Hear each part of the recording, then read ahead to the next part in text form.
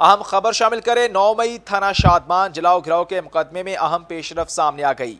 अदालत ने रहनुमा पाकिस्तान तहरीक इंसाफ शाह महमूद कुरैशी को अडियाला जेल से तलब कर लिया है। एडमिन जज खालिद अरशद ने तफ्तीशी अफसर की सदा पर शाह महमूद कुरैशी को तलब किया। अदालत ने अडियाला जेल सुप्रिंटेंडेंट को नोटिस जारी करते हुए पीटीआई रहनुमा को आठ जुलाई को तलब कर लिया है।